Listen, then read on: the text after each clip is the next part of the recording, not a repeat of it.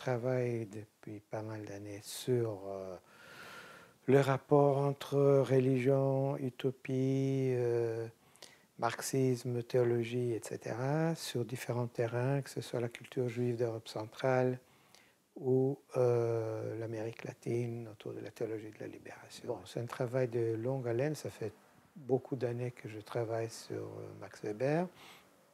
Bon, là, c'est un peu une synthèse à partir de choses que j'avais écrites. Ça concerne pas uniquement, mais aussi la religion.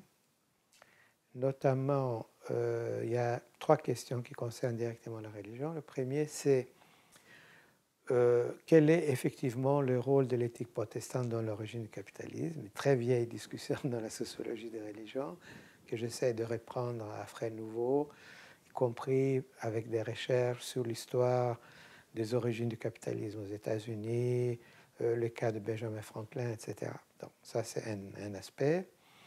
L'autre, qui est beaucoup moins connu, c'est ce que Weber dit sur le rapport entre l'éthique catholique et l'esprit du capitalisme, qui est un peu l'inverse de l'éthique protestante. Donc c'est plutôt les tensions entre les deux, ou ce que j'appelle l'affinité négative. Euh, c'est quelque chose sur lequel euh, Weber n'a écrit euh, ni de livre, ni même un article, mais dont on peut reconstituer l'argument à travers de fragments dispersés dans, dans, son œuvre. Donc ça, c'est le deuxième aspect. Et le troisième, qui concerne la religion, c'est pas directement Weber, mais c'est à partir de Weber comment Walter Benjamin et d'autres penseurs juifs allemands, vont euh, avancer l'idée que le capitalisme lui-même est une religion. Bon, ça part de Weber, mais évidemment, ça va beaucoup plus loin. Je pense qu'il il existe évidemment toute une vaste littérature sur Weber, avec des choses évidemment très intéressantes. Bon, ce que ces livres apportent de nouveau, je pense, c'est révisiter certaines questions classiques, telles que effectivement l'éthique protestante et le capitalisme, ou les rapports de Weber à Marx sous un angle nouveau. Je pense qu'il y a un angle d'abordage nouveau.